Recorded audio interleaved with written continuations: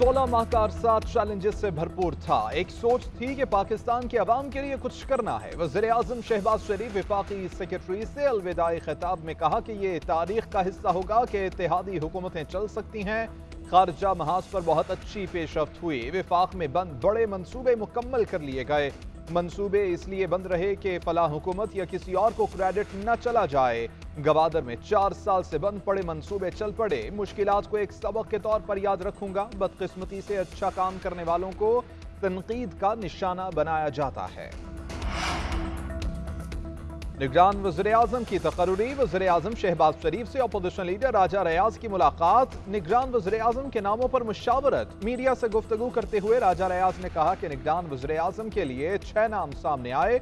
अभी किसी नाम पर इतफाक नहीं हुआ। इस हवाले से कल फिर नशत होगी।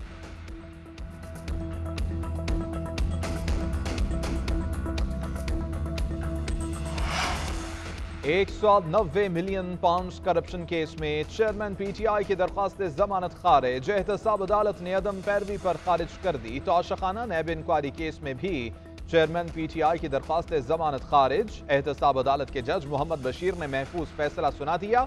बुशरा बीबी की गिरफ्तारी के ऑर्डर न होने के बयान पर जमानत की दरख्वास्त गैर मुअसर हो गई। अदालत ने बुशरा बीबी की अबूरी जमानत निपटा दी। जज मोहम्मद बशीर ने कहा कि यह केस इंक्वायरी की स्टेज पर है या इन्वेस्टिगेशन की? सरदार मुजफ्फर अब्बासी ने कहा कि अभी गिरफ़्तार करने के हवाले से कोई ऑर्डर नहीं। ख्वाजा हारिस बोले कि यह केस अब इन्वेस्टिगेशन में तब्दील हो गया है। रिजवाना तशद केस की मुलजिमा स्वामी आसिम की दरख्वास्त जमानत मुस्तरद। मजिस्ट्रेट शाइस्ता कुंडी ने महफूज फैसला सुना दिया। मुद्दई के वकील ने जमानत मुस्तरद करने की दरख्वास्त की थी।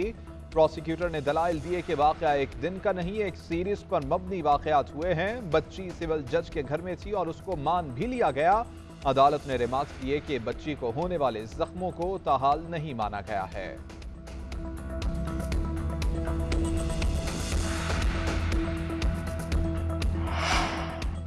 सिंध असम्बली की तहलील, महकमा कानून ने सिंध असम्बली तहलील करने की असम्बली का ड्राफ्ट तैयार कर लिया। मुशर कानून मुर्तजा बहाब की ड्राफ्ट तैयार करने की तस्दीक। कहते हैं सिंध असम्बली 11 अगस्त को तहलील कर दी जाएगी। आईनी मुद्दत 13 अगस्त को मुकम्मल होगी।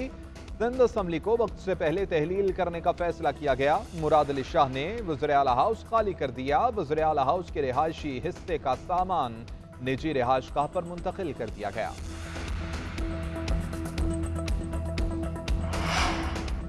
निगरान वजर अला बलोचिस्तान की तकररी। बलोचिस्तान अवामी पार्टी ने तीन नाम फाइनल कर लिए। इस जराये के मुताबिक बी ए पी ने सेनेटर कोहदा बाबर, मीर एजाज जरानी और नसीर बजिंजो के नाम तजवीज़ किए। वजर अला बलोचिस्तान का पार्टी रहनुमाओं की मुशावरत के बाद अपोजिशन लीडर को नाम भेजने का फैसला।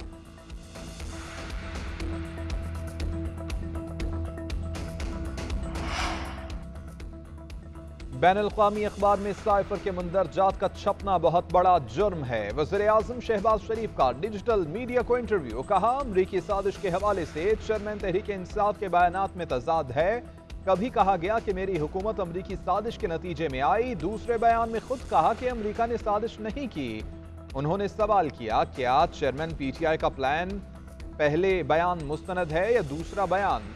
एक बयान शमाल का, एक जनूब का है। साइफर के हवाले से कौमी सलामती काउंसिल के दो अजलास मेरी सरबराही में हुए। एक अजलास में असद मजीद ने वाज तौर पर कहा कि डोनाल्ड लू से मुलाकात में साजिश की कोई बात ना हुई। जनरल बाजवा और सर्विसेज़ चीफ ने भी तायद की थी कि पाकिस्तान के खिलाफ साजिश नहीं हुई।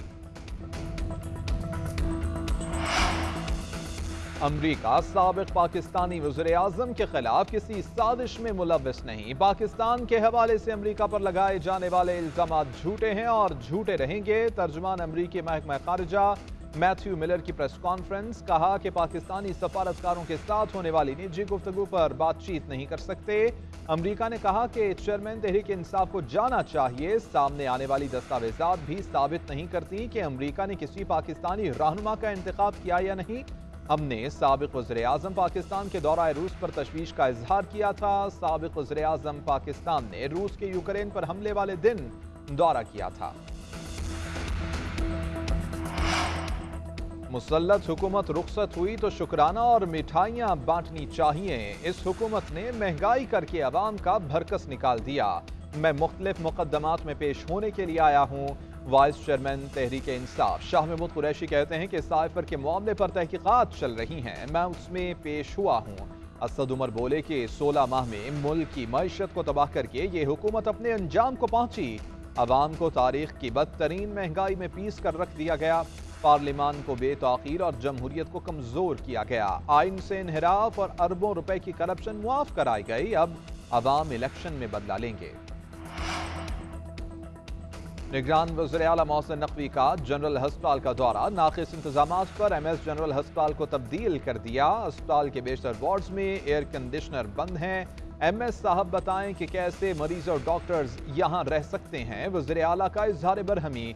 अस्पताल के स्टोर्स में एयर कंडीशनर्स की गैस मौजूद, लेकिन उसे ए सी चलाने के लिए इस्तेमाल नहीं किया जा रहा। वजर अला की अस्पताल के तमाम टूटे बेड्स को फौरी तौर पर तब्दील करने की हिदायत।